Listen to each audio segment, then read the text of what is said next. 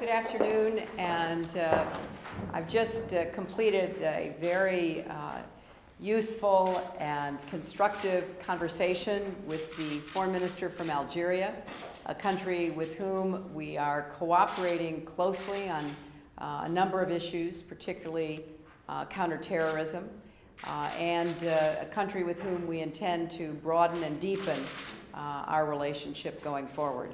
For all the initiatives that they have launched, we have talked about issues that interest both our countries.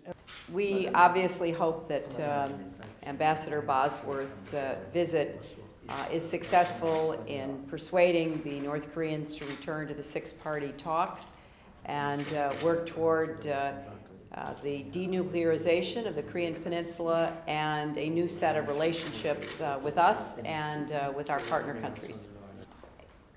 With, with respect to uh, uh, the case involving Amanda Knox, our consular affairs uh, personnel have been in regular contact uh, with her and with her family. Uh, we will continue that uh, support, which is the kind of uh, work that uh, we do on behalf of American citizens abroad.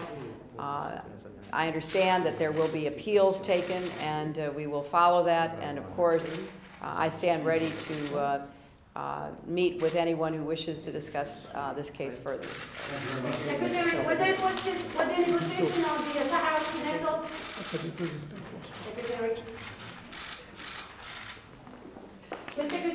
Secretary, were there any uh, talks on the uh, Sahara Occidental? Yeah, yes, we discussed it uh, in depth, and uh, we're going to try to get uh, all the parties to participate in the talks headed by the UN Special Envoy, Mr. Ross. Uh, My last, last question. Thank How you. about the Qaeda Thank you. Here we go. Maghreb?